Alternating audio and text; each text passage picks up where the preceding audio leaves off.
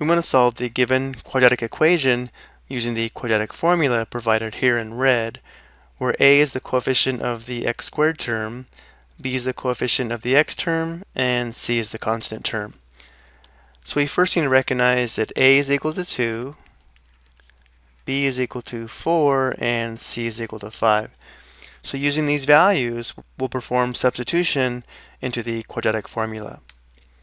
So we'll have x equals negative b, which is negative 4, plus or minus the square root of b squared, which is 4 squared, minus 4 times a times c, where a is 2 and c is 5.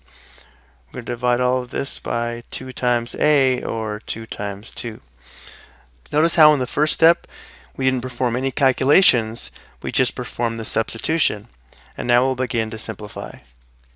So we'll have negative 4 plus or minus the square root of 4 squared is 16. Then we'll have minus 4 times 2 is 8 times 5 is 40. So minus 40. The denominator is 4.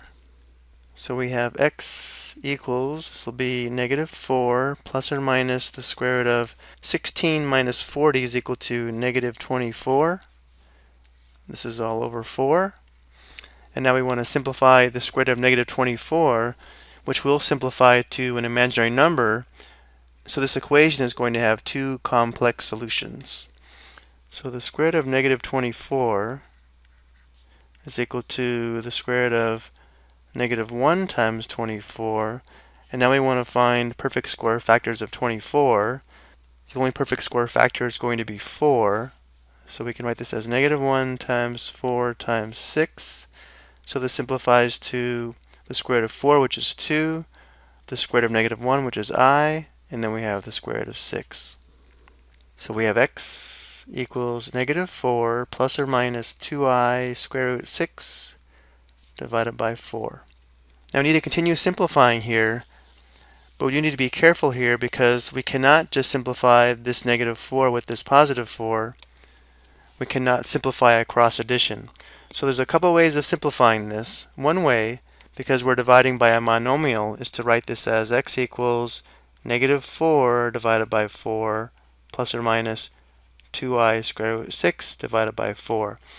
So we divided each term in the numerator by 4. And now we simplify again.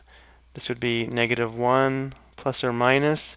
The 2 and the 4 simplify, so we have i square root 6 all over 2.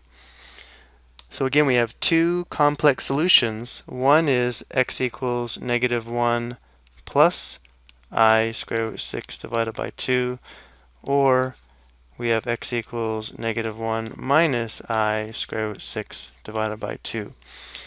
But I do want to show that if we simplified this in a slightly different way, while the answers would be the same, they'll be in a slightly different form.